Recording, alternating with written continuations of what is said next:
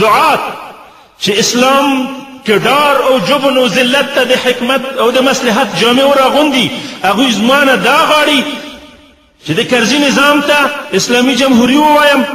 دا ونه وایم چې افغانستان یوه مستعمره د امریکایانو دی دا ونه وایم چې زموږ ملک نیول شوی دی دا ونه وایم چې د دې نظام په خلاف جهاد فرض عین دی دا ونه وایم چې د امریکایانو د صلیبیانو په خلاف قیام په هر مسلمان باندې فرض دی واجب دی قیام دی دا ونه وایم چې د دې حکومت سره کار کول ناروا دي، دا ونه وایم چې په افغانستان کې زموږ عزت او عفت تر پښو لاندې دی، دا ونه وایم چې هلته اسلام په خلاف په ځای باندې د اسلامي بیرغ په ځای باندې صلیبي بیرغ ولاړ دی، دا ونه وایم چې نن ټوله دنیا د دې کمکي اسلامي نظام د ورانولو لپاره ائتلاف کړی دی، دا ونه وایم چې هلته زموږ د جهاد مشران د کفر په لمن کې اور لوېدلي دي، دا ونه وایم چې زموږ علما نن د بلعام ابن باعوراء په مسند باندې ناست دي، کفر ته اسلام وايي، اسلام ته کفر وايي. او دلو ادلو په ګمراه کن فتواګانو باندې دا ملت ګمراه کوي او د دین تحریفوي او فکر منحرفوي دا ټول بدبختی وزغمم په دې جرم کې چې تورز باندې نشم سبحان الله دوا سو جیلونو زولنې دوا سو زولنې ته دین راته آسان دي چی یوه خبر د اسلام په خلاف باندې وکم د عبدالله ابن حذافه رضی الله تعالی عنه قول را پیادیږي چې د هرقل سره بندي وه تیل داغ یې کړه تعذیب یې کړه ویې ویله بیا یې ورته ووی چې صرف رسول صلی الله علیه وسلم ته یوه بده خبر وکړه موږ به تا د بندیخانې نه خلاص کړو هغې ورته وي سبحان الله سلورې په دې اور کې سېزل او په دې توره راته حلالېدل اسانه دي نه دا چې یوه خبر پیغمبر صلی الله علیه وسلم په شان کې وکړه بیا ورته وویل چې ته دې نه اسانه خبره وکړه دومره ووایه چې د زما په ځای باندې محمد بندي وای دا بهتره ده موږ به دې خلاص کړو سبحان الله زما د ټول ژوند ټول تکلیفونه شي د رسول صلی الله علیه وسلم دی وکړي کې چې از غای دي دغه سره نه برابر اومه دا څنګه زه تمنا وکړم چې رسول صلی الله علیه وسلم د تکلیف ورسیږي او خلاصه ټول پیشنهادونه چې ورته وکړ اخر دا ورته وي چې راشه زما سر تندای مچیکه تندای مچیکه زه به د بندیخانې نه خلاص کړم هغې ورته تنها ما خلاصوي که د څلور سوه مسلمانان چې را سره بندیان دي دم خلاصوي خو ده ورته وایي چې د څلور سوه مسلمانان به هم در سره خلاص کړم هغه وویل چې دغه تنازل مې هم د دې په خاطر قبول کړ چې کندویش د څلور سوه مسلمانانو د نجات وسیله وګرځم ورغلم د امپراتور د روم په پټنډه باندې مې لاړې ورتوکې وې د ظالم د ګمان وکړه چې ما شي کلم په تندي باندې خو ما په تندي باندې لاړې ورتوکلې او هغې دغه خبره بنا وګرځوله زه یم خلاص کړم او څلور سوه مسلمانان نور مدینې ته چې ورسېده د حضرت عمر رضی الله عنه وخت وه ژړل یې چې یا امیرالمؤمنین تباه شوم هلاک شوم ما تنازل وړاندې کړی دی دښمن ته وایي څه دې کړي دي ما د خپل خلاصونو د دې مسلمانانو د خلاصون په خاطر باندې هغې په ټنډې باندې مچي کړی دی داسې خواهش یې وکړه قصه یې ورته وکړه ای امیرالمومنین قسم په خدای د ځان په خاطر مې دا کار نه دی کړی د دې څلور سوه مسلمانانو د نجات په خاطر باندې مې کړی دی حضرت عمر رضی الله عنه منبر ته جګ شو او ورته وی چې مسلمانانو عبد الله ابن حذافه د دې کار په خاطر باندې څلور سوه مسلمانان آزاد کړي دي د مرګ نه زه نن د ده تندی مچی کوم او په تاسو ټولو باندې حق دی چې د عبدالله ابن حذافه رضی الله تعالی تندی مچی کوي تر څو چې د په زړه کې چې کوم احساس د کمترۍ پیدا شوی دی دغه احساس ورک شي د ده زړه نه هغه مسلمانانو چې دا احساس نه کوله دومره هم نه منله چې کافر ته دره ووایي دغه کوم خلک چې نن د اسلام دعوا کوي په سر پټکۍ په مخ ګیرې لري او د کفر او د بشتت په مزدورۍ کې د اسلام نه دومره تنازلات کوي د صحابه و دغه کیسې چیرته دي چې دغه کیسې دی په یاد کړه د کفر په لښکر کې ولاړ د اسلام په خلاف جنگ کوي هغه ته دینه بندیخانه ورته ښه نه وته د ژوند او ته دینه بندیخانه ښه نه ورته زولنو کې ناس غیر مکلف بوي ګران ورونو نو زه دا وایم چې ژوند د څه لپاره که ژوند د اسلام په لار کې نه وي که ژوند د دین او د هدف په لار کې نه وي ژوند د څه لپاره سلواره ته د ژوند نه مرګ ښه دی رسول صلی الله علیه وسلم وایي چې لا تشرکن بالله وإن حرقت أو عذبت د الله سره شریک مه راوړه ولو که ته ووژل شي او وسوځل شي په اور باندې نن خلک نه تنها چې د اور د اور د سزلو د ډار نه او د وژلو د ډار ترې نشته د ډالرو د ګټلو په خاطر باندې د الله سره شریک وي د الله دین تک تحریفوي د الله د دین دښمني کوي نو زه قوم ته دا دعوت ورکوم چې نن هر با احساس مسلمان ته خپل کور زندان او بندیخانه ګرځېدلی دی تاسو چې د خپل ځانونو په خپلو کورو کې په زندان کې اچولي دي ځان نم ازادي د فکر ازادي د قلم، ازادي د بیان، ازادي د کار او ازادي د جهاد اخیستې او هیڅ قدم د اسلام لپاره کار نشي کولای په دې باندې چې بندي نشي. ته دې نه خو هغه بندیخانه کې ژوند کول ښه دي. دښمن خو به دې ته مجبور کړي چې څو عسکر پیره دار در باندې ودروي او ډوډۍ خو به دې په دښمن بار شي غیر مکلف خو به شي. اصلي حکمت د بندیخانې نه دا دی چې داعي کار ونه کړه. ولې ولې ظالمان علما بندیانوي د دې په خاطر چې کار ونه کړ که چېرته علما د بندیخانې د ډاره خپله کار پرېږدي او کار ونه کړ دښمن مطلب به د پولیسو بندیخانې نه متحقق شو برآورده شو دا د دښمن سره مرسته همکاري ده د پرېږده چې د بندیخانې تکلیفونه خوشي که چېرته ټول خلک دا احساس وکړه که چېرې ټول خلک د اسلام د دعوت او د جهاد حق ادا کا دا ټول خلک به په کومو زندانو کې ځای وي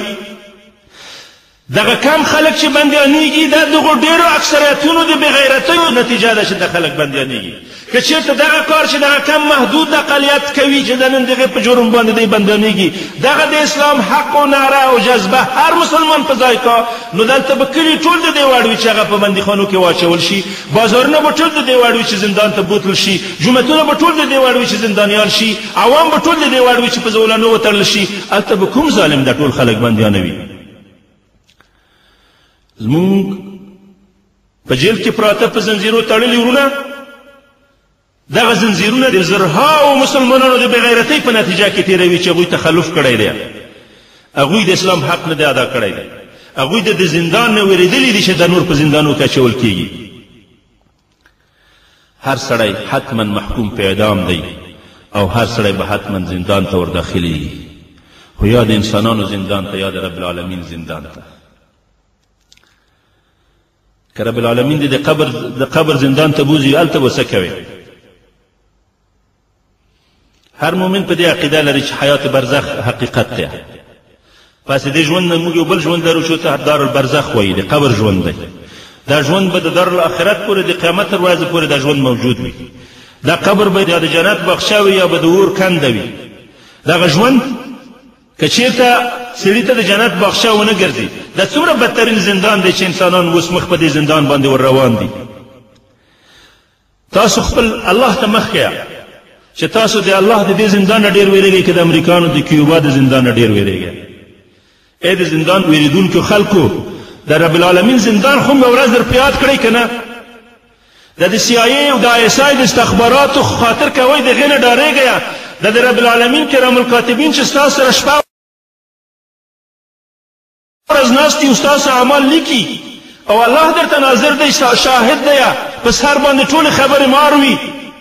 او لیکل کیږي او قادر دی چې تاسو ځکه باندې ژوندای نه باسي مالک دی خالق دی حساب هم در سره کوي دا د الله د جواسیسو خاطرم کوي کني کوي ته د الله د استخباراتو نه هم کله ډار شوی یې که نه شوی چې استخبارات څه درته لیکي څه راپور یې درته جوړ کړی دی که د دنیا د زبانیت سجن د زندان د تعذیب د وحشي انسانانو بې احساسه انسانانو د قمچینو د لرګیو نه ویرېږی آیا د الله هغه ملک هم در په یاد دي که نه